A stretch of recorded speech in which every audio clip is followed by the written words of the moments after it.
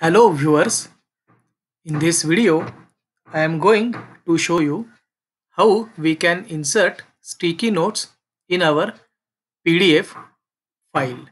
So here you can see my PDF file is there and you can see this small PDF sticky note is there. So I will simply click on this note and you will see I have written information extra for my students that is I have written the question and information about this topic in the form of sticky note.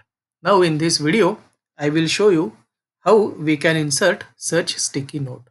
So here, after opening your PDF in Adobe Reader, you can see at top, last third option is there, sticky note.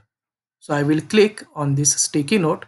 Now you can see my cursor has got changed from arrow to sticky note.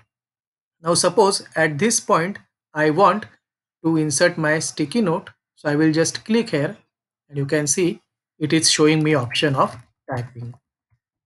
So I will type something. So this is important for your examination. So I have typed and now I will simply click outside and you can see my sticky note has been saved.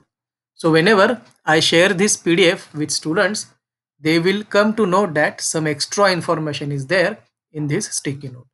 So the student when click on this sticky note, they will be able to see this information. So in this way, we can insert sticky note in our PDF. If I want to delete the sticky note, then I can click here. You can see here editing options are there. So, so I will click and I will simply click on delete. Now you can see my sticky note has been deleted. Now if I want to save this PDF with sticky note, then I will simply click here on this close option. Then it will ask me, do you want to save changes? If I want to save, then I will simply click yes. Then I will give new name to the PDF. So here you can see I will give new name to the PDF and it will get saved. It means my original PDF will remain as it is and my new PDF will get saved. So in such way, we can use this sticky note, sticky note option for our PDF.